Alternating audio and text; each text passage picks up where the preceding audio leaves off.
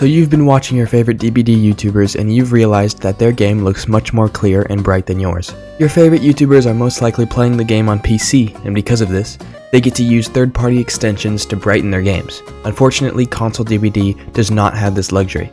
With that being said, there are many things that Xbox, PlayStation, and Switch players can use to brighten their game. In the first video, I went over the best colorblindness settings to make your game easier to see. I really recommend watching that video. If you want to start with that video first, you can click that I up in the top right that you see right now. If you want to watch it after you watch this video, it'll be in the description. This video is going to be about actually changing the settings of your monitor or TV, whatever type of screen that you use. There's a lot of videos out there that talk about monitor settings, make your games brighter or more saturated or more vibrant.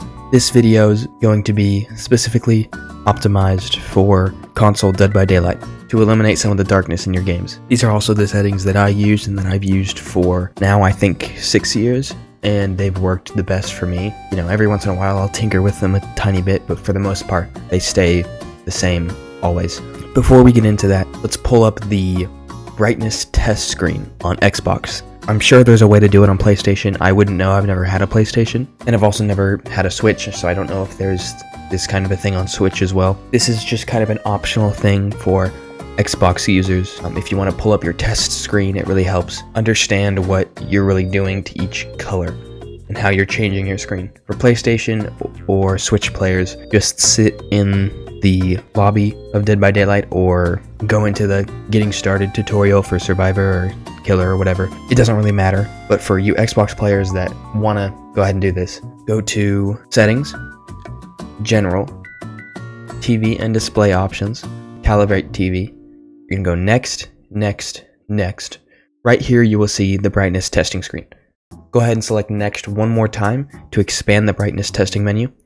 Keep your screen here for now, don't touch anything on your controller. Okay, so now that we're here, this is the moment where we're going to change the actual screen settings. Keep in mind that changing these settings will carry over into everything else that you use the screen for.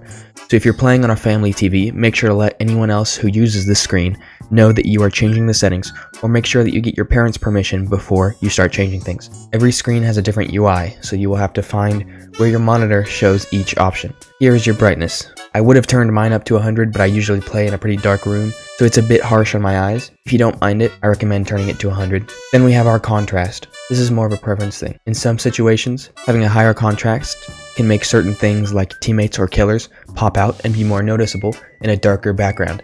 At the same time, having a higher contrast makes the dark parts of your screen darker and the light parts lighter.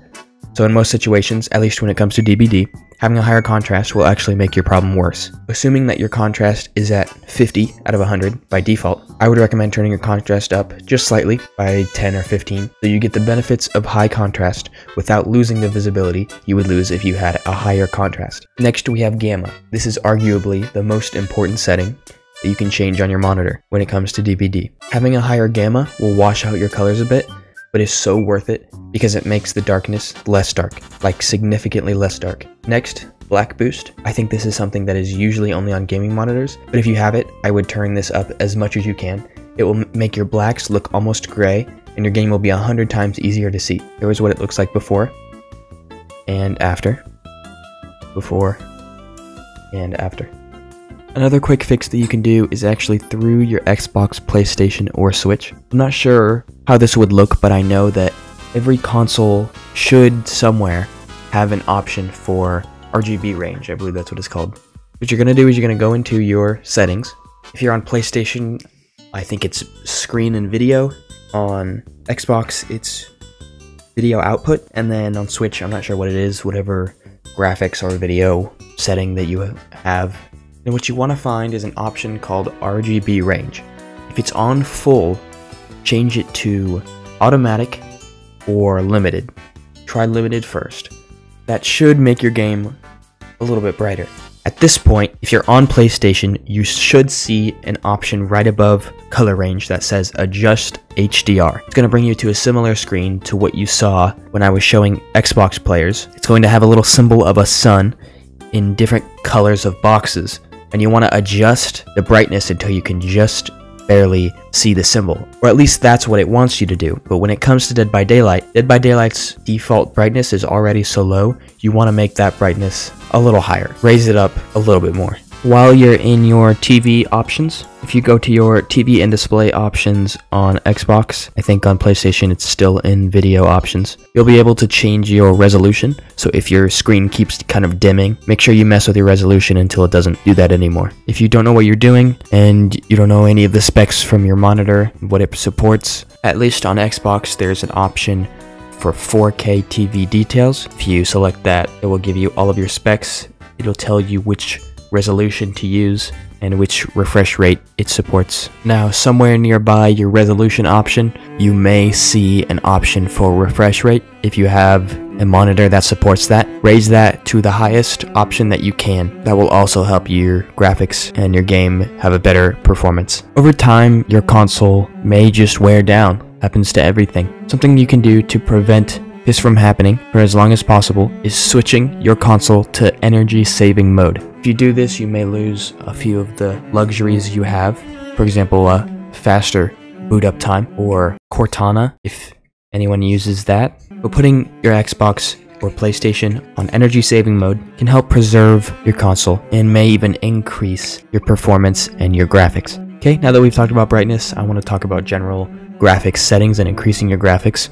Obviously, the best thing you can do to increase your graphics is to upgrade. If you don't have an Xbox Series S or Series X, I really recommend maybe saving up for it. If you don't have a PlayStation 5, I recommend saving up for it. They have really high-end graphics on those things, and if you want, you could just save up for a PC, and then you wouldn't have any of these problems. But if you'd rather stay console gaming, that's totally fine. Consider upgrading to one of the next gen consoles. Xbox Series X and PlayStation, they both have 4K, they both have ray tracing even, and it can support 120 FPS.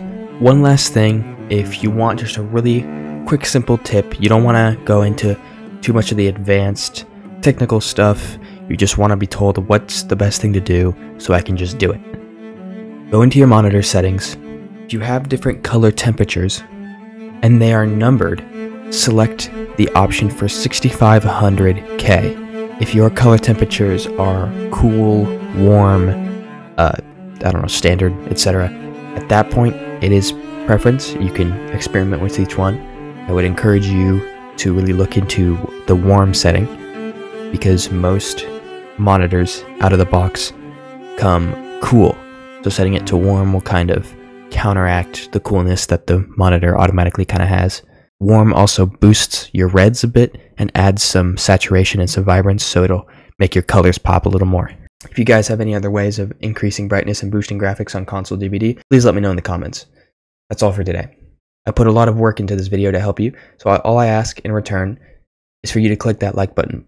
If you want more DBD tutorials and general content, click the subscribe button. Thank you, and goodbye.